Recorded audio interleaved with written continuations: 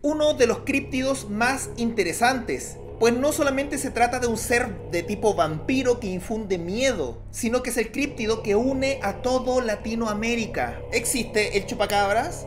Por eso hoy en Desmintiendo por Partes, toda la verdad que hay atrás del chupacabras.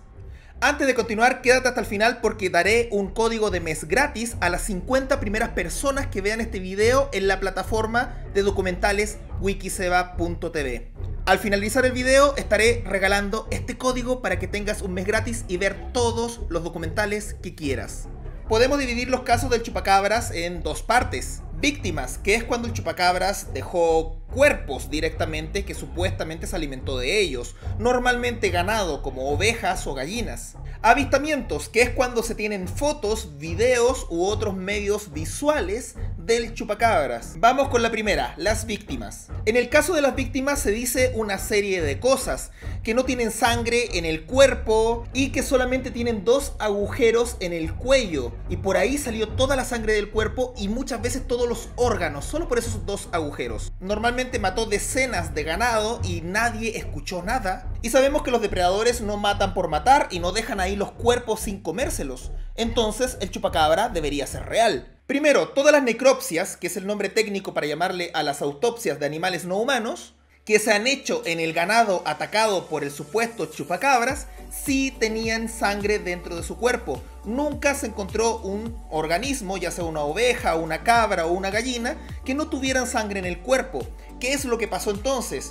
Pues de estos dos agujeros que dejó se ve que salió sangre y se coagula y deja de salir sangre y queda la sangre sólida dentro del cuerpo. Eso da la sensación errónea a las personas que vieron esto de que el animal le chupó la sangre a estos seres vivos. Y obviamente la parte de que no se encontraron órganos dentro de estos animales es falso, no hay ninguna evidencia de que se puedan sacar todos los órganos por dos agujeros. Respecto a que no se escuchó nada mientras el chupacabras atacaba a un montón de ganado, pues eh, tenía una expareja que me contó una vez que un camión chocó su casa y no se dio cuenta hasta el día siguiente porque siguió durmiendo. Me consta que hay personas que tienen muy buen sueño. El sueño profundo evita que sepas qué está pasando con tus animales afuera y tengan en cuenta que son personas que viven con ruidos de animales todo el tiempo y se acostumbran a, dormir con los ruidos de estos animales. Y tercero, el argumento de que un depredador no mata por matar y se tiene que a fuerza comer la presa es un mito. Ningún biólogo nunca ha dicho eso. Cuando fue el supuesto caso de que había llegado la NASA a Calama, en Chile, y habían capturado un supuesto chupacabras y había muchos animales muertos en esa época, adivinen quién estaba ahí.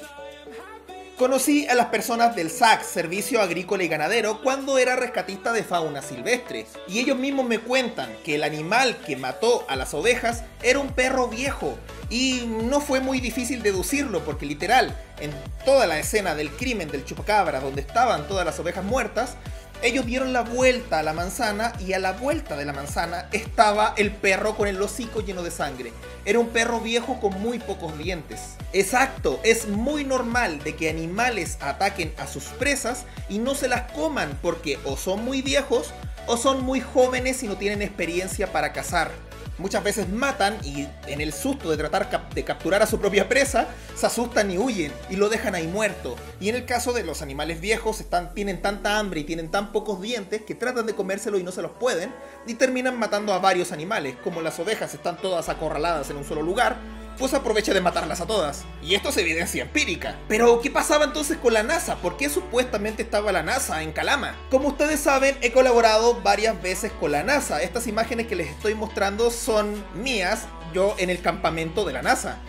Y el campamento de la NASA está en el desierto de Atacama, mismo lugar donde está la ciudad de Calama donde ocurrió supuestamente este hecho. La NASA hace investigaciones astrobiológicas en este desierto porque las condiciones de este desierto son muy parecidas a las del planeta Marte. La NASA estudia astrobiología, no anda buscando críptidos. Eso en el caso de que de verdad hubiese un camión de la NASA dando vueltas por Calama. Con esto queda desmentida la parte de las víctimas. Ahora toca desmentir por partes la parte que corresponde a los avistamientos, que van desde fotos, videos, criaturas muertas e incluso criaturas capturadas. Si esto fuera verdad, ¿por qué todas las criaturas lucen diferentes? Todos aseguran que su animal capturado o fotografiado o photoshopeado son el chupacabras, pero ninguno se parece a ninguno. Ejemplo, este es un perro con sarna, y esto es un oso sin pelos, y este es un montaje falso hecho en Photoshop. Y por último, este es un montaje falso hecho con un murciélago volador al cual torturaron. Sin contar que muchas de estas cosas son edición, montajes o animales que se confunden, ya sea perros con sarnas o algunos caninos híbridos que no son tan cotidianos verlos y cuando los ves piensa que es el chupacabras. Por el simple hecho de que sabemos que todas las imágenes son diferentes y todos aseguran haber encontrado el chupacabras, sabemos que estos videos de captura son falsos, porque ni siquiera se ponen de acuerdo con qué forma tiene el chupacabras. Pero tenemos al chupacabra clásico, que es este dibujo que se ha transmitido por distintos lugares. ¿De dónde sale la leyenda del chupacabras? La aparición del mito del chupacabras es hace 200 años y lo trajeron los europeos a América en un libro llamado Viaje al Mar Polar, donde dice, la ignorancia de los hombres blancos considera como los gritos del chupacabras, haciendo referencia a espíritus de culturas mesoamericanas que estaban muertos. Y así parte el mito. Pero toda la popularidad del chupacabras es moderna. ¿De dónde salió entonces el concepto del chupacabra moderno? La primera vez que el chupacabra fue avistado fue por Madeleine Tolentino en Puerto Rico quien hizo una descripción detallada de cómo era el chupacabra, y acá lo pueden ver. El problema es que ella estuvo desvelándose toda la noche viendo la saga de las películas Especies, y la criatura Seal de la película Especies es idéntica al chupacabras. Entonces, esta persona muy probablemente vio un animal cotidiano, pero como estaba sugestionada viendo la película Especies, vio a la criatura Seal. No le dijo ningún nombre ni le llamó chupacabra cuando la encontró, pero coincidió con muerte de animales. Que por si acaso, los animales ya morían desde antes por distintos factores, no solamente perros viejos o em, animal, depredadores muy jóvenes, sino que también en muchos casos ajuste de cuentas, este, granjeros rivales le matan los animales al otro, ataques de pumas, que mm, el, el granjero salió con la escopeta y el puma huyó y dejó a los animales muertos etcétera, etcétera, etcétera. Entonces ocurre este caso donde Madeleine imagina a la criatura Sil como el chupacabras y pasan estas muertes masivas de ganado.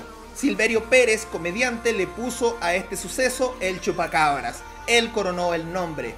En conclusión, el chupacabras son distintos fenómenos que no tienen ninguna relación entre sí, que la gente los metió en un mismo saco y les llamó chupacabras. Más allá de que el chupacabra sea falso o no, pues es el único mito que conecta a todos los latinoamericanos. ¿Quién quiere a Simón Bolívar cuando tenemos al chupacabras? No olvides que usando este código para las primeras 50 personas que ven este video, van a tener un mes gratis en wikiseba.tv. Con este mes gratis tendrás acceso a todos los documentales de la plataforma, incluida mi serie de astrobiología donde yo soy el protagonista. Tampoco olvides suscribirte a mi canal de YouTube. Hay videos diarios para que te canses viendo datos curiosos.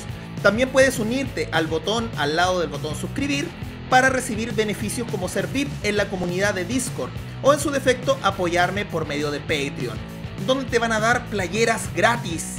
No olvides seguirme en mis otras redes sociales y compartir este video si te gustó. Soy Wikiseba y este es el lugar donde el conocimiento rompe la realidad. Adiós Wikisapiens.